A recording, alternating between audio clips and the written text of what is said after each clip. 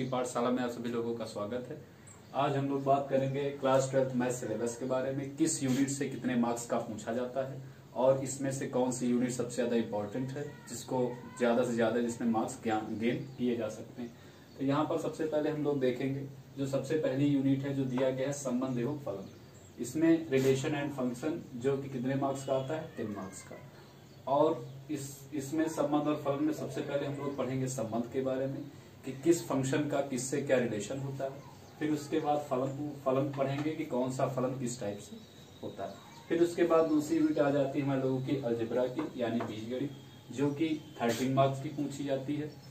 और फिर उसके बाद आते हैं कलन। सबसे इंपॉर्टेंट यूनिट्स है कलन, जिसमें से सबसे ज़्यादा मार्क्स का पूछा जाता है फोर्टी फोर मार्क्स का। और कलन या फिर कैलकुलस में सबसे ज़्यादा जो पूछा जाता है, इसमें होता है, सबसे पहले स्टार्ट करते हैं डिफेंसिबिलिटी एंड कंटिन्यूटी फिर उसके बाद स्टार्ट किया जाता है अप्लीकेशन ऑफ़ डिफरेंसिबिलिटी फिर उसके बाद इंटीग्रेशन फिर अप्लीकेशन ऑफ़ इंटीग्रेशन फिर उसके बाद लास्ट में आता है डिफरेंशियल इक्वेशन और ये चार या पाँच इसमें चैप्टर होते हैं और इन चार पाँच चैप्टर्स को मिला करके पूछा जाता है फोर्टी फोर मार्क्स का। जो सबसे ज़्यादा इंपॉर्टेंट है, इसी से आता है फोर्टी फोर मार्क्स का। अगर इसको अच्छे से स्टूडेंट्स प्रिपेयर कर लें तो ज़्यादा से ज़्यादा जो प्रॉब्लम्स है वो सॉल्व की जा सकती है। फिर उसके बाद हम लोग आगे आ जाते हैं सदिश तथा त्रिवी ज्यामिति। यानी कि vector and three dimensional geometry, जो कि हमारे यहाँ पूछा जाता है लगभग सेवनटीन मार्क्स का।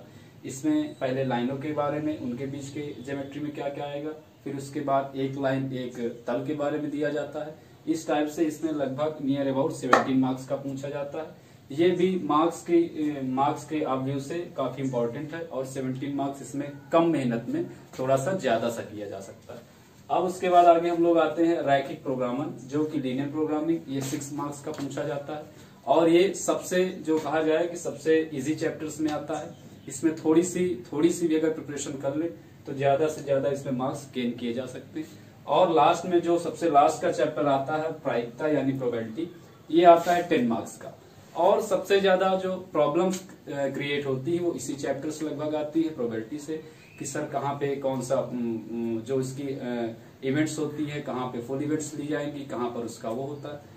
तो इस कुल मिलाकर के केवल एक प्रश्न केवल एक क्वेश्चन पेपर पूछा जाता है और पूरा कितना आता है? हंड्रेड मार्क्स का। तो इस प्रकार से ये है क्लास ट्वेल्थ का सिलेबस और इसमें ये ये चीज़ें इस क्रम में पूछी जाती है। अब हम लोग देखेंगे पेपर पैटर्न के बारे में कि कैसे पेपर पूछा जाता है कौन सा क्वेश्चन कितने नम, कितने मार्क्स का आता है। तो जो सबसे पहले आते हैं इसमें बहुविकल्पी प्रश्न यानी कि ऑप्शनल टाइप के क्वेश्चन ये पाँच क्वेश्चन रहते हैं एक एक नंबर के आते हैं और इन क्वेश्चन जो है कुल मिलाकर के फाइव मार्क्स के हो गए। फिर उसके बाद अगला नंबर आता है अति लघुत्तरी क्वेश्चन का जो कि एक एक मार्क्स के आते हैं और ये भी फाइव ही क्वेश्चन रहते हैं। तो टोटल मिलाकर के ये भी फाइव मार्क्स के हो गए।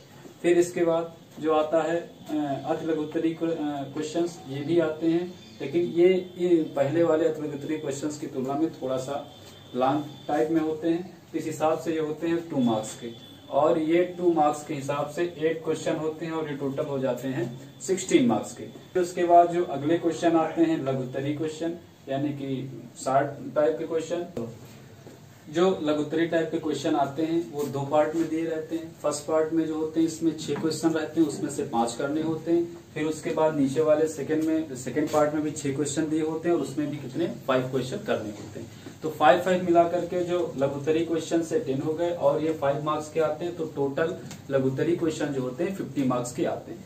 तो सबसे बड़ा जो पार्ट इसमें पूछा जाने वाला है लघुतरी क्वेश्चन का, और ये लगभग फिफ्टी मार्क्स के पूछे जाते हैं। फिर उसके बाद हम लोग आ जाते हैं दीर्घोत्तरी क्वेश्चन यानी लॉन्ग आंसर आंसर क्वेश्चन ये तीन क्वेश्चन दिए होते हैं। और इन तीन क्वेश्चन प्रत्येक जो होता है क्वेश्चन आठ मार्क्स का तो कुल मिलाकर के ये ट्वेंटी फोर मार्क्स योग। फिर उसके बाद अगर इसको हम लोग टोटल करते हैं तो ये टोटल ऐड होकर के हमारा कितना हो जाता है? हंड्रेड मार्क्स का टोटल पेपर पैटर्न होता है। और हमको इसके लिए टाइम दिया होता है थ्री एंड फिफ्टीन मिनट यानी कि थ्री आवर उसके और फिफ्टीन मिनट क्वेश्चन पेपर पढ़ने के लिए। और इसमें आप लोगों को ये तो पता ही होगा कि हंड्रेड मार्क्स में से वन बाई थर्ड यानी थर्टी थ्री मार्क्स लाने होते हैं पास होने के लिए।